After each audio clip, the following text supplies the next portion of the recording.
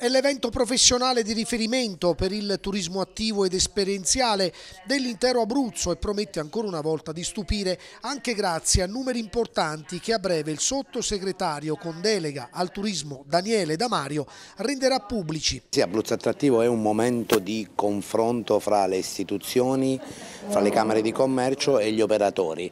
gli operatori di un settore che mm, quando tireremo fuori i doti fra qualche giorno dimostrano che l'Abruzzo si candida sicuramente ad essere una delle mete più importanti per quanto riguarda il turismo legato alle esperienze,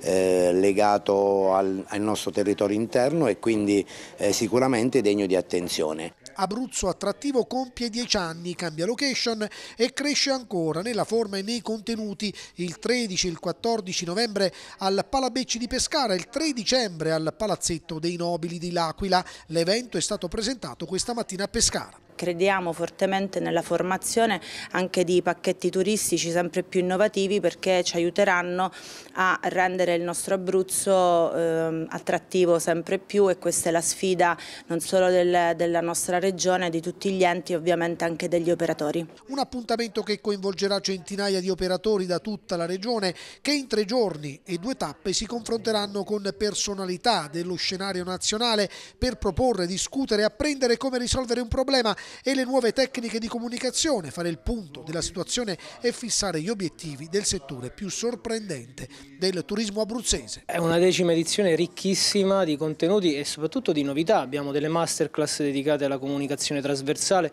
abbiamo degli short meeting con tour operator e OTA nazionali e internazionali, ma soprattutto l'affermazione di quello che Confesercenti Abruzzo e Federpate hanno lanciato ormai da dieci anni. Turismo attivo esperienziale quando nessuno ci credeva, noi possiamo rivendicare questo primato.